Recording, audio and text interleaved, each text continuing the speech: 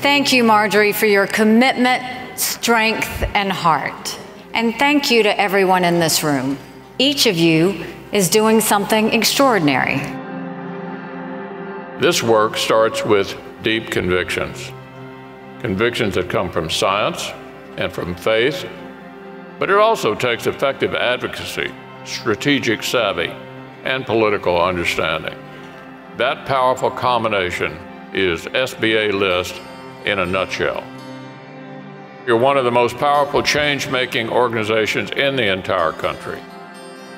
There is a new balance on the Supreme Court, giving us reason to hope that the power to protect babies, mothers, and yes, even fathers will one day soon live in the hearts and laws of the American people.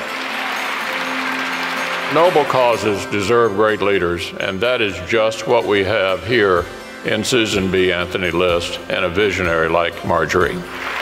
She and your organization literally defend the defenseless, and now the entire nation is watching your work pay off. For all of your work on the causes we share and the battles we fight together, thank you very much. In her last speech before her death in 1906, Susan B. Anthony declared, quote, failure is not an option. She was right then, and she's right today. You can't have liberty and the pursuit of happiness without the right to life. Take heart and remember no matter the struggle, no matter the lows, life will prevail.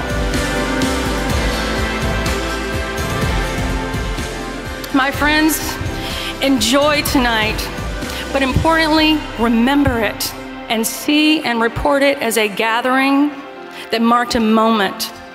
The pro life movement's greatest opportunity yet to restore life in America.